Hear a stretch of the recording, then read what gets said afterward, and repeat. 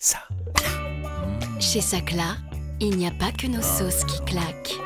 Il y a notre comédien aussi. Coquin. Sacla, ça claque.